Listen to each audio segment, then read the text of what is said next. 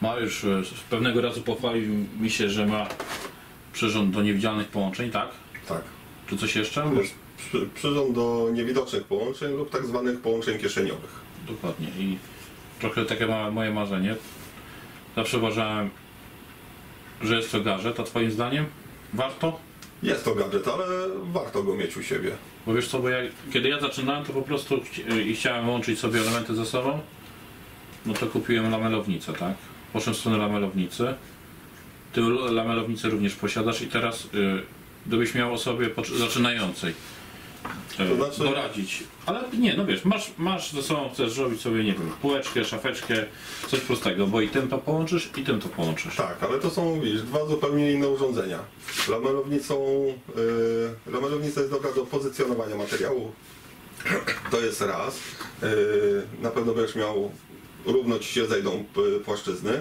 Druga rzecz jest taka, że jeżeli skleisz, musisz to wrzucić w ściski i odczekać aż klej wyschnie. Tutaj może pozycjonowania nie ma, po prostu trzeba to ręcznie później ustawić, ale jeżeli posmarujesz klejem, przykręcisz dwa wkręty, to możesz obrabiać materiał dalej. Nie czekasz aż y, w ściskach klej wyschnie, możesz po prostu obrabiać go dalej. Także to są zupełnie dwie różne rzeczy. Okej, no, zgodzę się z Tobą, ale nadal jest kwestia. Czy zacząć od tego, czy zacząć od lamelownicy, pomimo, że to są dwa różne sposoby połączenia, tak? Wiesz co, i to jest bardzo właśnie ciężkie pytanie i ciężko odpowiedzieć na to pytanie. Ja powiem Ci szczerze, że za swoją lamelownicę dałem naprawdę niewiele więcej niż za ten przyrząd. I gdybym miał kupić jedną rzecz, kupiłbym lamelownicę. Także, tak jak powiedziałeś, to jest gadżet. Jest to przydatny gadżet, ale je, je, jest to gadżet. No.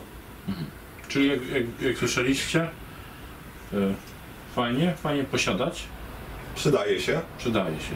Ale kiedy byście chcieli zacząć no, robić połączenia nawet i czy robić klejonkę i ją y, wzmacniać połączeniami, no to w tym momencie lamelownica. No jest to na pewpewno dużo Ale nie, wyklu, nie wykluczacie sobie takiego e, przyrządu na swoim, na swoim warsztaciku, bo to jest przydatne. No ja oglądając te różne filmy, e, powiedzmy marketingowe, no to bardzo, bardzo gdzieś tam e, pragnąłem mieć. Do tej pory no nie, da, nie było dane mi.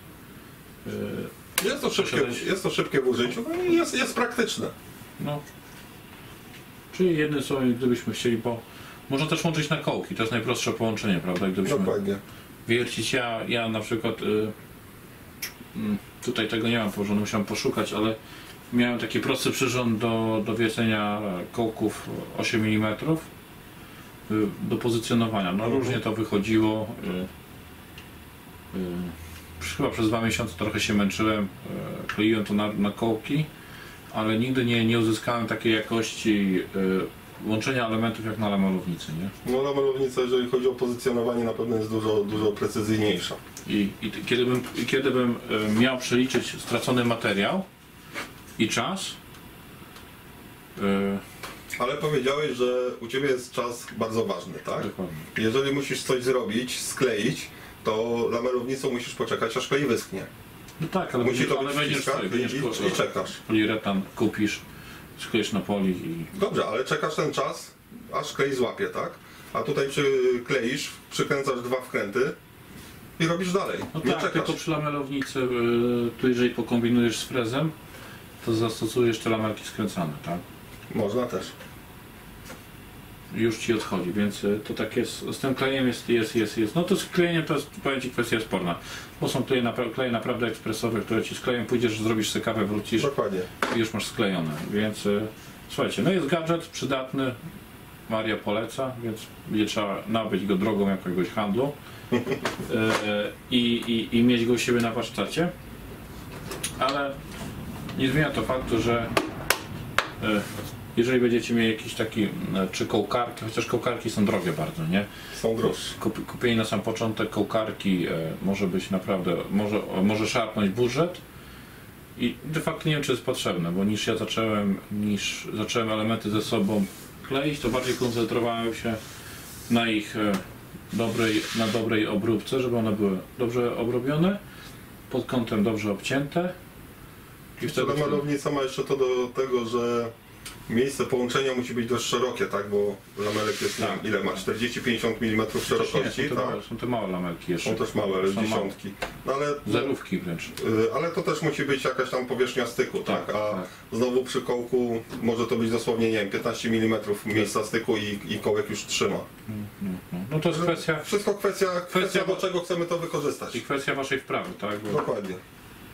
bo, bo wszystko, wszystko, wszystko różnymi technikami połączycie. Kwestia budżetu, chęci, i, i, bo może spodoba wam się i będziecie cały czas na kołki, bo kiedyś nie Tak. było innej tej techniki, kołek, pach i, i b- pamiętam stare I meble. tyle lat trzymały. Dokładnie, dokładnie. Weź to rozerwij, nie? Dokładnie. Wszystko pękało, kołek, kołek nadal na swoim miejscu był. Mamy tutaj również szlifierki e, oscylacyjne. Mm.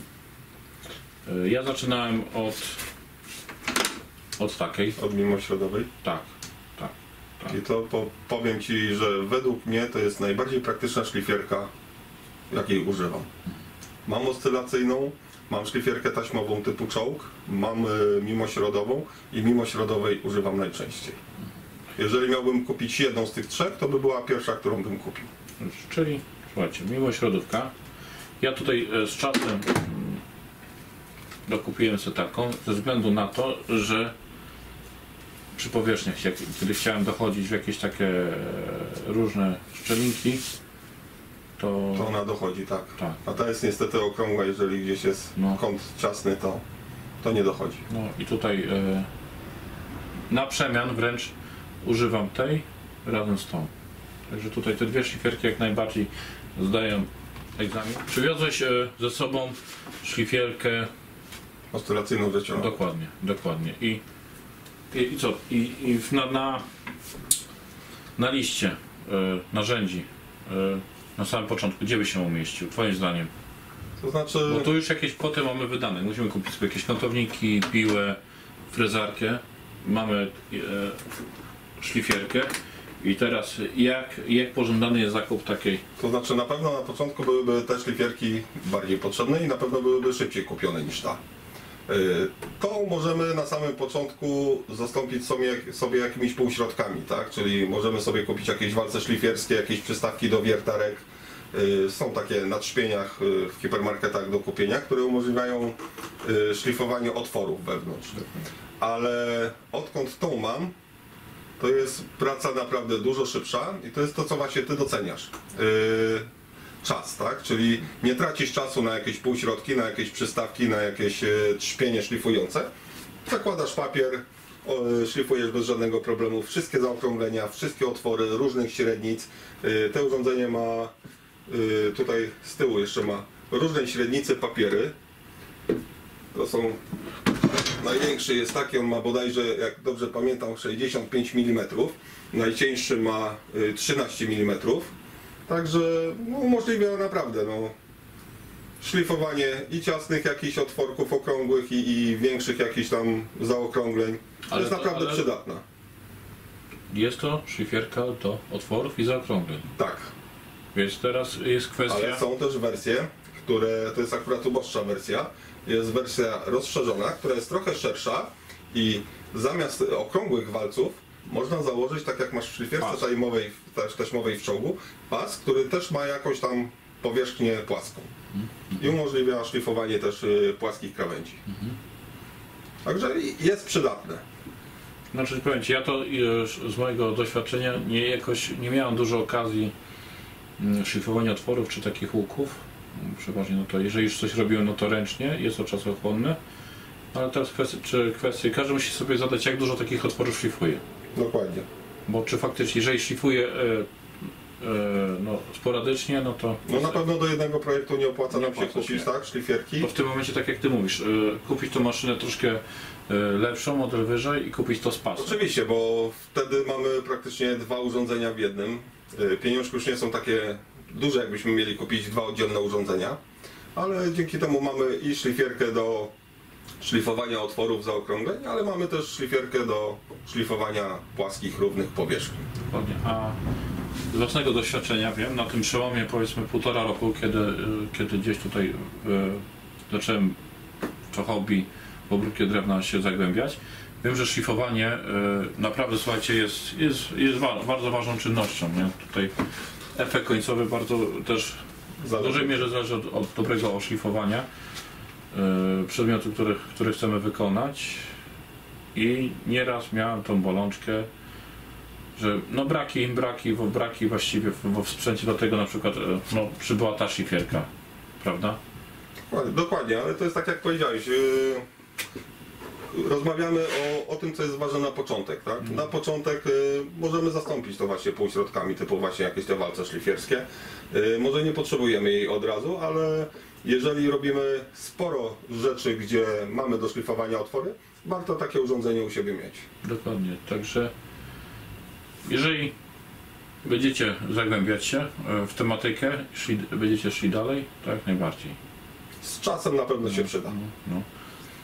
Nie wiem, czy będziemy omawiać e, potrzeby ukośnicy, bo e, mi na przykład ta ukośnica, pomimo tego, że miałem, ja miałem na początku Boscha, e, tą pilarkę stołową, to troszkę nie posłuchałem jednej osoby, która mi mówiła, kiedy przechodziłem na większą pilarkę, zostaw, zostaw, zostaw Boscha, to, tą stołówkę, tą małą, a żebym sprzedał, sprzedał tą, tą kośnicę. Na dzień dzisiejszy czasami żałuję właściwie, że tak nie zrobiłem, aczkolwiek uważam, że kośnica jest bardzo przydatna do cięcia, gdy chcemy ci- uciąć elementy wzdłuż i je formatować. Pomimo tego, że mam stół formatowy u siebie na pile, e, to i tak wygodniej położyć mi długi element i, i dziabnąć tą kośnicą niż... Tak, no, na, na stole zawsze długi element zawsze Więc uważam, że ta, ta tak? ukośnica jest przydatna na Jest przydatna. Ale musi być dobra ukośnica, trzymająca dobrze, dobrze kąty. No Ja już się przejechałem, tak? miałem niestety, słuchaj, ukośnicę, która obojętnie jakbyś nie ustawił idealnie kąt, nie miała żadnej powtarzalności cięcia. Co cięcie, kąt wychodził inaczej. Znaczy powiem Ci, ja, się, ja przyznam, się, przyznam się do tego, że ja tej ukośnicy używam tylko do, do, do w jakiś sposób do sformatowania danego materiału na długość. A resztę już takich precyzyjnych cięć robię na, na, na, na, na, na, na, na, stole formatowym. Także je, miałem tylko wykorzystuję tą do cięcia Do wzdłuż. grubszego cięcia. Tak, bo mam za, nie mam za dużo miejsca na szerokość pomieszczenia, więc tutaj się ratuje, ratuje cięciem, a później na, na, na stół formatowy to trafia, nie? Ale tak jak mówisz, to może być problem, prawda? No i w tym momencie mały kątowniczek w rękę, Dokładnie. jesteśmy na markecie albo sklepie z, z elektronarzędziami i jesteśmy w stanie sobie sprawdzić. No druga sprawa, że ten materiał, który będziemy przykładać, to też może powodować nam, że ten kąt, e, kąt nam ucieknie. Chyba wtedy najlepiej trochę ręką e, nacisku na przykładnicę użyć i, i zobaczyć, zobaczyć jak to wyjdzie. Wiesz co omawialiśmy, jak omawialiśmy frezarki? Jeszcze jest temat e, frezu, bo to jest taki trochę, wręcz powiedziałbym, e, temat polityczny niektórych forach Kontrowersyjny. i kontrowersyjny, jakich frezów używać, czy, e, czy iść Jeden dobry, czy jeden dobry, tanich. dokładnie, czy, czy, czy jeden dobry. E, tu mam o, e, założony frez. Najtańszy jaki jest możliwy, kupiony gdzieś dosłownie zestaw frezów, e, słuchajcie, za kilkadziesiąt złotych. Mam je półtora roku. Mm, Większość z nich do tej pory nie użyłem.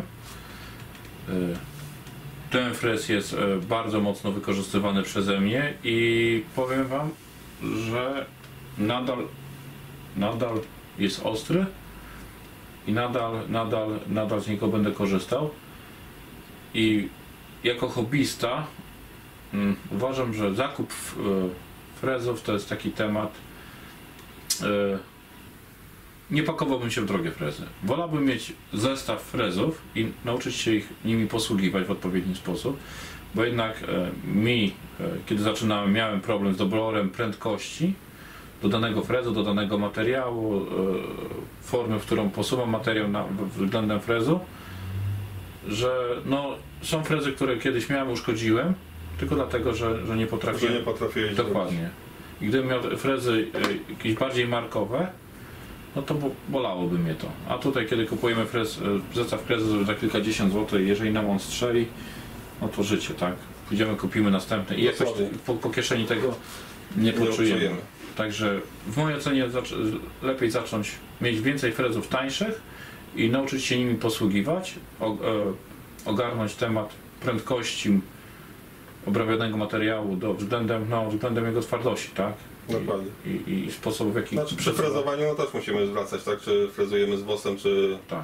No. z włóknami, czy, czy, czy pod włókna. To jest tak samo jak O. przy struganiu. Filmów jest trochę, ja kojarzę, nie wiem czy ty masz jakiś film, który kojarzysz, ja wiem, że Przemek, typowo. Przemek, e, Przemek Było Małprzy, frezowanie, tak, Tak, dokładnie. Przemek, Przemek robi. e, robił frezowanie i chyba też, tak, mówił o tych technikach, technikach, żeby jechać e, wzdłuż i w poprzek. Dokładnie. Także tam, jeżeli byście chcieli coś o, frezowaniu zobaczyć, no to na kanał Przemka zachęcamy. Także dobra, frezy, frezy sobie odkładamy, wróciliśmy do nich.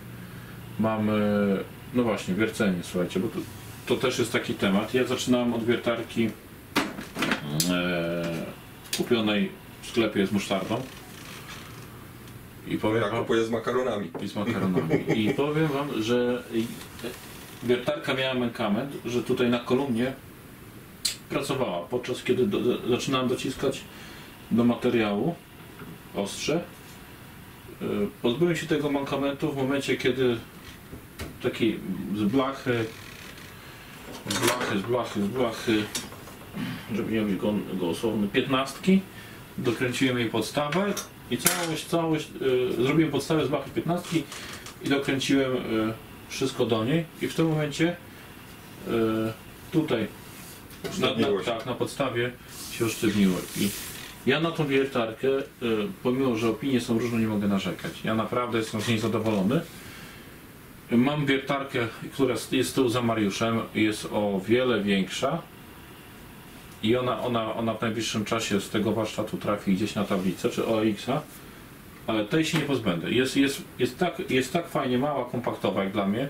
Mogę ją przenieść yy, i nawet przesuwać, nie muszę materiału przesuwać, tylko ją przesuwam i wiercić, że ją sobie zostawię, pomimo tego, że ostatnio udało mi się w końcu nabyć po roku szukania taką WS-16 yy, wiertarkę, którą mam zamiar rozebrać i, i, i, i, od, i z powrotem złożyć i wymienić wszystkie elementy zużyte w niej, to ta wiertarka nadal, nadal ma miejsce u mnie na warsztacie. Nie wiem, jaką ty masz wiertarkę stołową u siebie? Znaczy mam stołową też z hipermarketu, może nie z musztardą i z makaronem, ale budowlanego. No z jakością jest różnie. Brakuje, brakuje mi jednak troszkę w niej mocy, yy, ma luzy na wrzecionie. Chętnie bym też właśnie wymienił na coś większego, tak jak ty. No, bo to powiem wam, że mm, zakup wiertarki jest bardzo, bardzo takim zakupem bardzo specyficznym, bo y, chcemy, chcemy kupić urządzenie. Wiertarka jest urządzeniem, elektronarzędziem, tak, które, mm, które będzie na stałe u nas w warsztacie gościć. Dokładnie. I to jest zakup, o ile, o ile na przykład szlifierka nam się zużyje, bo będziemy Kupimy- czas używać. Wyrzucimy, kupimy drugą. No, to wiertarkę to jest taki zakup jednorazowy i ta wiertarka może to już jest trzeci może- zakup. I dopiero z tego zakupu jestem zadowolony, tak? I, te, te, e, i ta wiertarka już zostaje u mnie. U mnie Może inaczej, może powiedzmy, że to są elektronarzędzia, a to już jest y, maszyna, tak? Tak, tak. To, to, to już jest maszyna. Więc jeżeli będziecie dobierać, jeżeli chcecie na sam początek, to spokojnie taka, taka mała wiertarka do mniejszych rzeczy. zupełności wystarczy. Ja mam tutaj nawet e, wiertło założone. Ono ma średnicy 40 mm i e, spokojnie, spokojnie tutaj ta wiertarka sobie tą 40 radzi. Nie pamiętam czy testowałem większe, więc nie wypowiem się, ale na 40 spokojnie tutaj te otwory puszkowe robiłem, nie? Tylko właśnie przy wiertarkach jeszcze dużo daje wiertło, jakość wiertła. Jeżeli będzie wiertło ostre, nie Tak. będzie problemu, tak? Jeżeli wiertło będzie tępe, najlepsza wiertarka. Ale Też to, nie to, to już jest chyba taki, mi się wydaje, że, że jest to yy, sprawa bardzo, bardzo mm, oczywista, że jednak chcemy mieć te, te narzędzia tnące ostre. Polecam Wam jednak poszukanie takiej polskiej wiertarki, czy to WS-15, WS-16. To mam bardzo, bardzo pozytywne opinie. To znaczy na pewno. Na, nie? na pewno, na pewno stary, dobry sprzęt, niedojechany, yy, będzie lepszy i dłużej nam posłuży niż yy, pierwszy lepszy Chińczyk zakupiony w markecie, tak? Tak, no, no. Jest na pewno bardziej wytrzymały, jest bardziej precyzyjny, no i żywotność jego jest po prostu, no, nie czarujmy się, no taka maszyna będzie nam służyła naprawdę dużo, dużo, dużo lat. Dokładnie. I teraz jest tylko jeszcze kwestia taka, czy yy, z dostępnością tego, bo tu, jest, tu, tu będzie z tym problem, bo no, zakup takiej jest, na, jest, możemy na rynku wtórnym trochę tych maszyn znaleźć, ale niekoniecznie one spełnią nasze oczekiwania pod względem e, zużycia. Nie? Dokładnie. E, słuchajcie, no mamy chyba wszystko. Zostały nam jeszcze wkrętarki. E, moim zdaniem ja zaczynałem od zwykłej takiej wkrętareczki na zwykłą e, baterię niklowokadmową. Do tej pory używam. Jestem, jestem e, bardzo, bardzo z niej zadowolony. A powiedz mi tak, widać na niej ślady zużycia, czyli widać, że nie jest jakoś tam oszczędzana, tak? Nie jest, nie jest trzymana w kartoniku na pokaz, tylko widać po niej, że ona pracuje. Jak długo ją masz i czy bateria jest oryginalna? Słuchaj, bateria jest oryginalna, e, dwa lata mamy. I cały czas trzyma bez problemu. Dokładnie, dokładnie. Dostała w kość, e, zacisk zosta, został na zasadzie, wiesz, jak dociskasz, nie? Niepoprawne za, zaciskanie, to dostał trochę. E, na pewno nie będzie radziła sobie z dużymi wiertłami, nie? Powiedzmy to... Czyli jednak jest słaba, jeżeli chodzi No o tak, no ale wiesz, no wiertła... No dobrze, ale jakie ona ma parametry? Jaką, ile ma volt? Jaką moc? Wiesz co, tu mamy 12V, 1,9 Ah ma, ma Akumulator. akumulator, nie? E, Co do momentu to się nie wypowiem. Trzeba by było zerknąć. e, Nie, wiesz co, to nawet chyba jest newtonometr. 400 newtonometrów. Nie, to jakaś bzdura. Od 0 do 400. Ale czy to jest newtonometr? Wiesz co, jest naklejka już starta i... Mhm. Znaczy nawet wiesz, to jest pokazane fi 10, że powinienem e, max tej, tej wkrętarki. Nie ukrywając, a tu wierciłem 13 nawet, nie? Więc e, no nie miałem łatwo. Więc do, czego, do, do, do tego, czego Dokładnie. służy, daje radę. Dok- dokładnie, spokojnie Wam na samym początku, czy kupicie tej marki, czy innej e, wkrętarkę, to, to chyba na, za dużo nie ma znaczenia na sam początek. Ale ja nie wiem jak u Ciebie, bo u mnie na przykład y, wkrętarki są używane ciągle, non stop. Do każdego projektu, czy to wiercę, czy, czy, czy wkręcam wkręty. Wiertarka chyba jest z takich elektronarzędzi najczęściej wykorzystywanym E, narzędziem. Wiesz co, tak, dlatego, dlatego poszłem o krok dalej, tak jak mówisz, że używasz.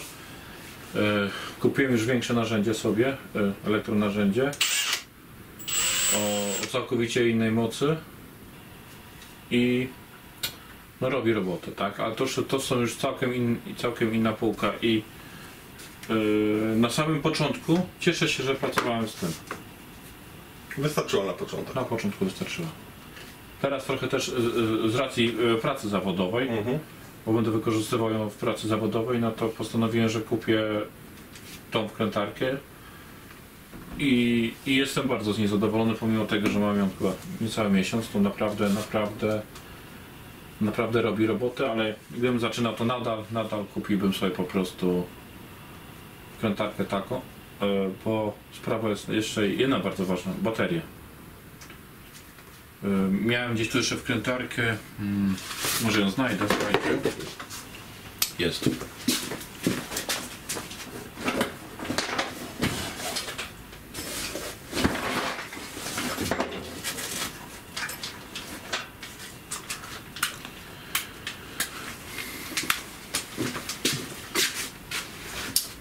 Wkrętareczkę i tak jak widzisz, również z tyrana, prawda?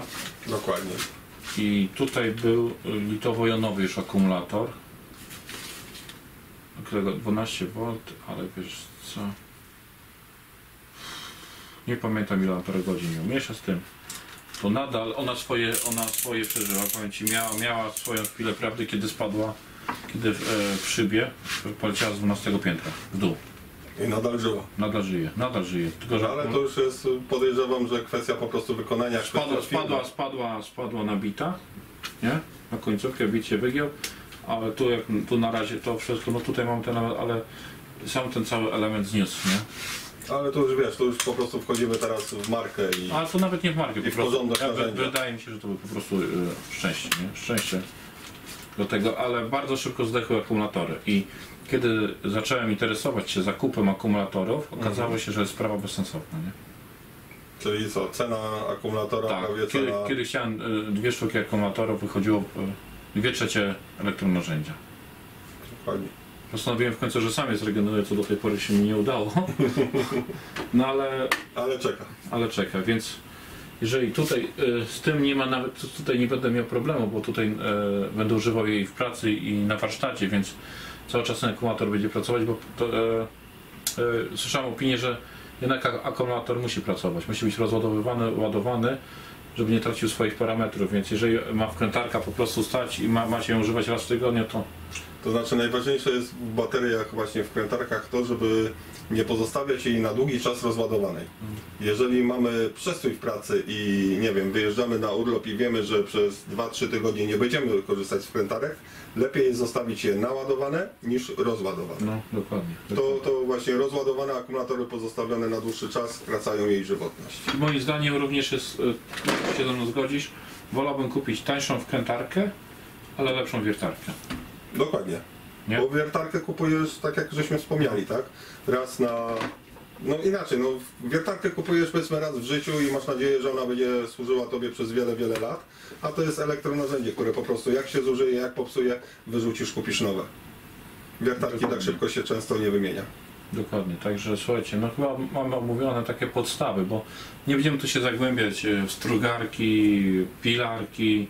To znaczy są jeszcze tysiące rzeczy, o Dokładnie. których nie wspomnieliśmy i Mówimy o- niestety w takim krótkim filmie nie da rady y, wspomnieć i omówić każdego narzędzia, które jest potrzebne, zwłaszcza na początku, bo tak naprawdę dla każdego z nas, y, jak zaczynamy przygodę z majsterkowaniem y, z drewnem, y, dla każdego nas narzędzia będą inne, potrzebne na pierwszy rzut. Jeden będzie potrzebował, nie wiem, lepszą piłę, tak? Drugi będzie potrzebował frezarkę. Wszystko zależy od tego, jakie mamy projekty, jakie mamy plany, co chcemy robić. Dokładnie, bo e, kupicie sobie zwykłą pilarkę ręczną z marketu i też utniecie. Oczywiście. Są ludzie, którzy z scyzorykiem naprawdę piękne rzeczy Dokładnie, robią. także to jest tylko kwestia tego, w jaki sposób będziecie podchodzić, ile miecie, macie miejsca, jaką zasobność portfela i w jaką stronę pójdziecie, nie? Czy, i, no, bo może być tak, że za, zaczniecie hobby, nagle stwierdzicie, no to nie jest dla nas, nie? Niestety. I, a, a, A narzędzia już są. a narzędzia już są, nie? A sprzedaż tych narzędzi wcale nie jest prosta i wcale nie oznacza to, że odzyskacie pieniądze, które zainwestowaliście, bo tak nie jest. Nie? Nigdy. Z- zawsze niestety na tym się traci. No, no niestety, no. To jest hobby, nasza pasja, także też kosztuje.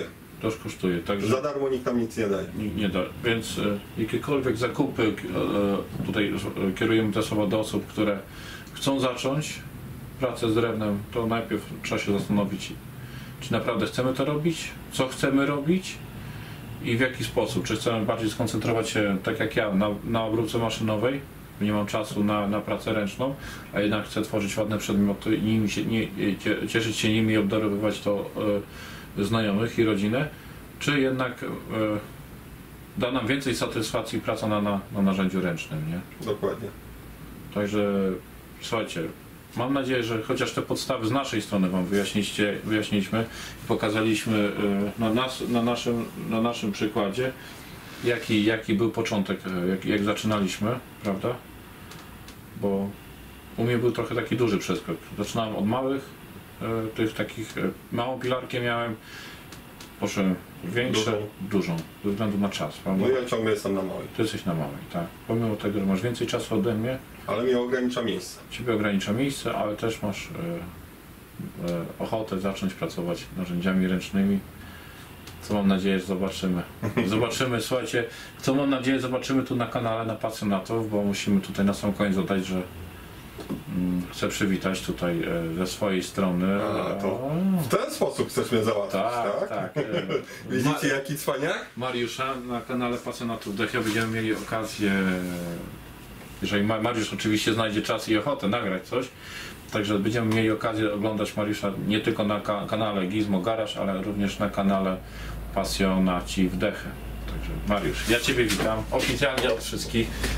E, witaj na kanale i, no mam nadzieję, że zobaczymy Cię tutaj w najbliższym czasie w realizacjach.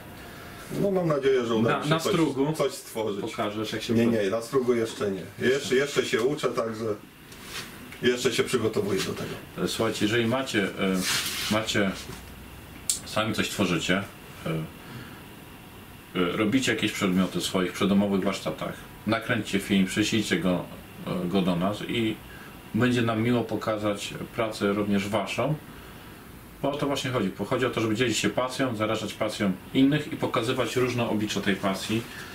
E, Ja mam inne podejście do, do, do, swojej, do, do, tej samej pasji. Mariusz ma inne również. e, To znaczy inaczej, jesteśmy dwójką różnych ludzi, mamy różne podejście, ale łączy nas ta sama pasja. Dokładnie. I chcemy tą pasję przekazywać dalej, pokazywać e, innym, e, jak, jak, jak, jak, jak fajne to jest i piękne zajęcie, jak, jak bardzo cieszy i rozwija nas, tak? Prawda? Bo to Dokładnie. ma to wpływ na, na, na nas, e, kiedy pracujemy z drewnem. Także słuchajcie, my kończymy. Bo gadaliśmy, gadaliśmy, gadaliśmy. Mamy nadzieję, że osoby, które zaczynają, skorzystają z tego filmu e, i, i w, w oparciu o nasze doświadczenia, gdzie, gdzie były czasami bolesne przy zakupie, nie popełnią pewnych błędów, które my popełniliśmy i, i zaczną, zaczną, zaczną pracę w drewnie. Jeżeli macie jakieś pytania, piszcie do nas, y, do pasjonatów, piszcie do, do Mariusza na kanał Gizmo Garaż. Na pewno odpowiemy na Wasze Tak, pytania. tak, jakiekolwiek. Także słuchajcie, my się z Wami żegnamy, życzymy Wam wszystkiego dobrego. Trzymajcie się, hej. Cześć.